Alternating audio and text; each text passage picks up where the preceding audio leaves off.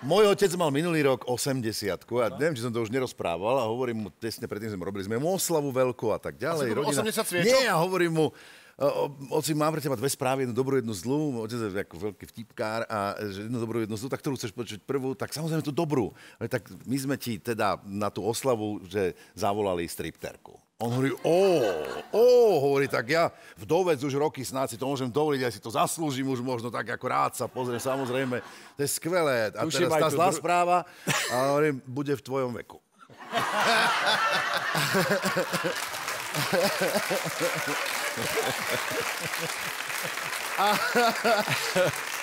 Otec mi ešte dlho potom hovoril, že ho mátali nočné mory. to predstavoval tak všelijak a tak. Takže nakoniec dopadlo, dobre, nebola, neprišla, zaspala. No, tak. Nemohli ste to rozmeniť, že by prišli 4 20 ročné? Aj to, by, to Aj to by tak